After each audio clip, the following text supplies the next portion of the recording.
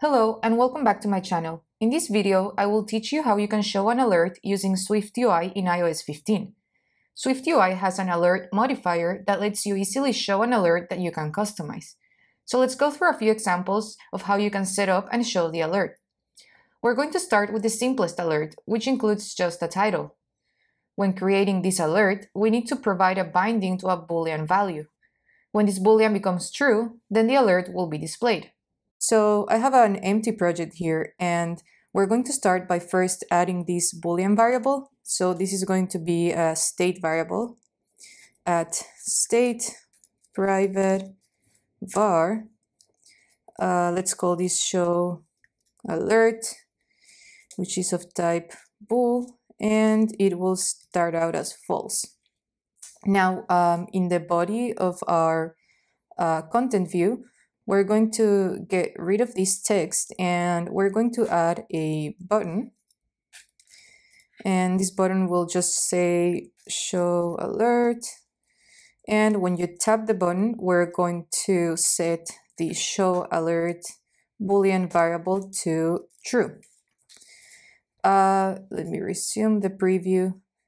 Um, now, uh, we can use the alert modifier to actually display the alert. And like I said, we're going to use a simple alert and for now it will only include a title. So let's add here alert and you can see there are uh, many different initializers that, that we can use. Um, we're going to use a very simple one here for the title, we're going to say something like uh, hello. For the is presented parameter, we pass a binding to a, a boolean. So we use the dollar sign and we can pass here show alert. And for the actions, we're going to leave this empty. Now, when you don't provide any actions, the system will automatically add um, the OK action for us. So I think that that should be uh, that should be okay. So let's actually play our preview. And if we tap here on show alert, you can see that our alert is displayed with the title hello and the default OK button. Now we're going to update our, our alert so that it also shows a message and some, uh, some custom actions. So one thing we can do, um, let me pause our preview here and do some formatting. So um, uh, what we'll do is uh, first we're going to add the message. So this can be something like um, a text and our text will just say um, this is a message. Now for the actions, let's add first um, a cancel action. So I'm just going to add here a button that will say cancel. And uh, we're going to leave the actual, um, the action of the button empty. So it will just uh, dismiss the, the alert.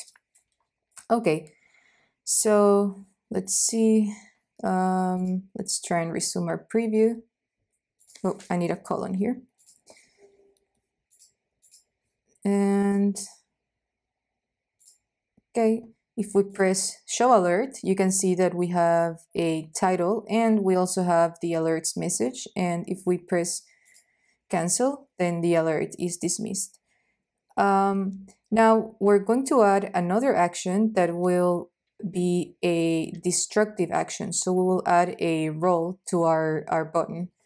So let's get let's copy and paste this cancel button and we're just going to say something like delete data and we're going to provide the role of destructive and as you can see this indicates that the button is destructive so basically it uh, executes an action that cannot be reverted. So for example, something like deleting some user data um, from the user's device.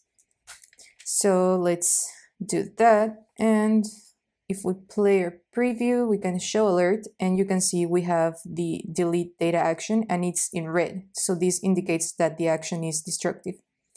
Another thing is that when you have a destructive action, the system will automatically add a cancel button. So we can actually get rid of the one that we had added. And if we show our alert, we have our title, the message, and the cancel button uh, added by the system, as well as the delete data button that we set up to be destructive. Now, suppose that we want to use some dynamic data to generate the content of the alert. Maybe this data is based on which button a user taps, or maybe there's some other logic happening behind the scenes, and the content of our alert depends on the result of this logic. We can use another version of the alert modifier that includes the presenting parameter. And this uh, presenting parameter will um, will be a piece of data so we can like uh, create a, a structure and provide it as the data that is used to populate the alert. So um, let's say we want to have like three different buttons and depending on, on which one is pressed, then uh, we are going to populate uh, our alert. Um, for now, we're just going to show like um, uh, favorite hobbies, for example. So let me add first a struct and I'm going to call this hobby and it will be identifiable. So let's add here an ID of type UUID.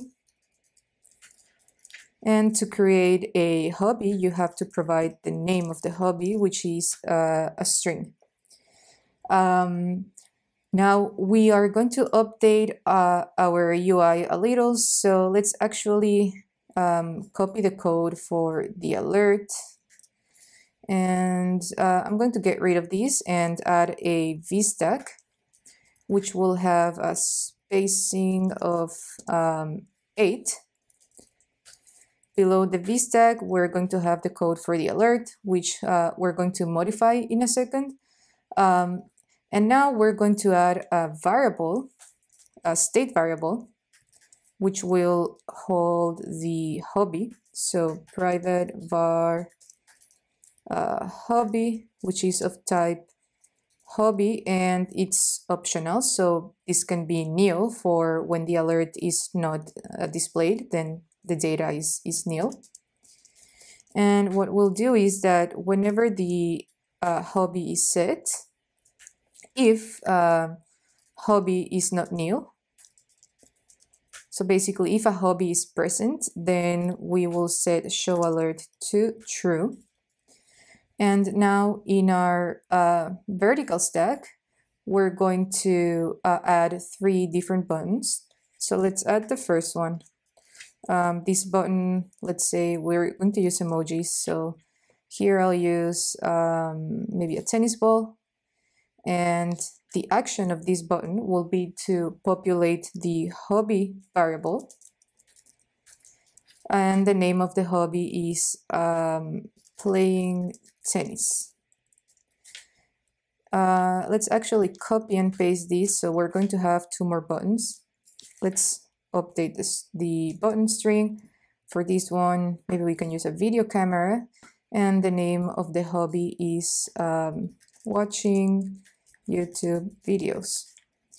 And for the third one, um, maybe you like reading. So the name of the hobby is uh, reading books. Okay, um, so as you can see, we have now three different buttons. Let's actually resume our preview so that it's updated. Okay, so we have uh, three different buttons here, but if we press them, um, we set show alert to true and we haven't modified the code for our alerts. So we still have the title and the message and the other buttons that we added. Um, so we're going to update the, the alert. Um, let's actually update the title to something like uh, my favorite uh, hobby is dot dot dot. Um, is presented will not change but now we're going to add the presenting parameter. and the alert will be presenting the current hobby. Um, for the actions, we are going to leave this empty, so underscore in. And for the message, we are going to take the hobby that is in the data that we're providing to the alert, and we're going to show the hobby's name. So hobby dot uh, name. Okay, so the modifications here are we updated the title, um, is presented still holds the same boolean variable. We added the presenting parameter, which is the data that will be presented in the alert. We left the actions empty, so we're only going to have the default uh, OK action. And we updated the message so that it shows the hobby that the user selects um, in, in the alerts message. So let's go ahead and test our code. So if I press the tennis ball, you see our alert is updated and it says my favorite hobby is playing tennis. And we can do the same and press a, a different button. So we press the book icon and the alert is updated. And um, the same happens for videos.